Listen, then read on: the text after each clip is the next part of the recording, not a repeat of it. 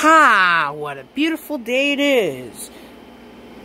Not and yesterday was Ethan the Sonic Mario Marvel fans first anniversary. Sorry about that, guys. And today I got Transformers: Re The Revenge of the Fallen. Meant Revenge of the Fallen on DVD. So now I can finally watch it. Don't watch it. Huh? Who said that? Just don't watch it. It has that scary Paramount DVD logo. If it's scary, then trust me. Oh my gosh! There's a ghost in the... AC! Yeah, AC! You're telling me there's a scary Paramount DVD logo? Just watch and see for yourself. Okay.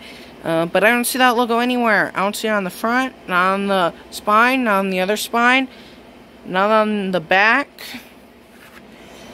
It's not on the front, not on the spine, not even on the back, and not on the disc either. So unfortunately, there's no Paramount DVD logo anywhere. Just get the disc in for the love of God! Whoa, whoa, whoa, whoa! Okay then. Never saw that coming. And of course, this film is rated PG-13 because Ethan is 14.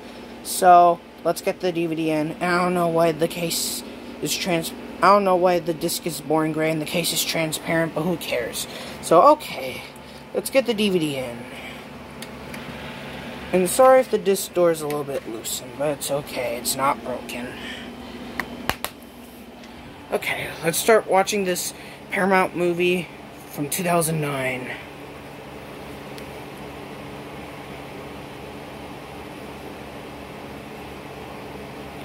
Ooh, stars!